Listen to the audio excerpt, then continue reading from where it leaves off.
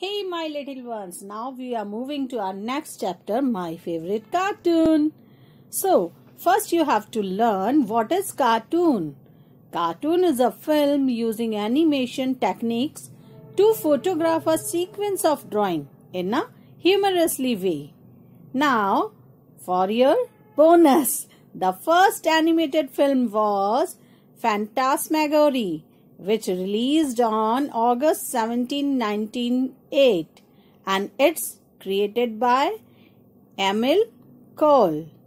So, all of you enjoy your chapter. Hey, who is this? This is Motu Patlu. Tweety. Mickey Mouse. Tom and Jerry. Scooby Doo, Donald Duck. And this one's girl's favorite, Peppa Pig, Masha and the Bear, Pokemon. Goodbye.